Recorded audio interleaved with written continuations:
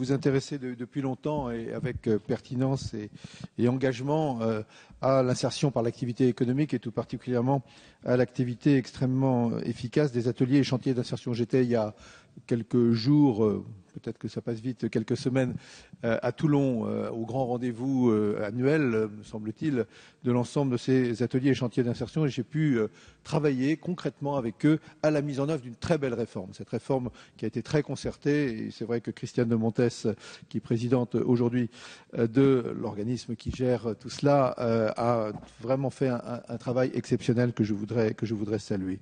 Alors, s'agissant des questions plus précises que vous posez, vous savez quelle est, au fond, l'orientation L'orientation, c'est d'avoir des outils qui soient adaptés, mais qui soient des outils le plus proches possible, au fond, de ce que nous cherchons tous au travers de ces structures euh, d'insertion par l'activité économique.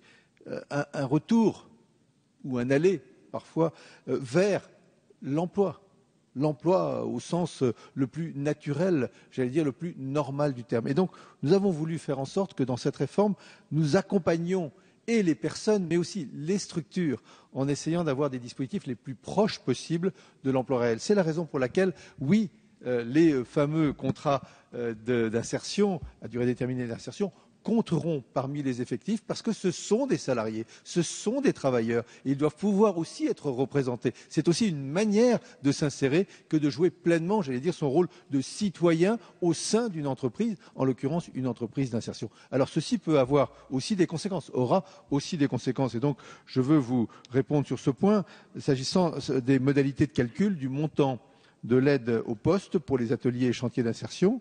Pour le montant socle, c'est-à-dire ce que tout le monde touchera.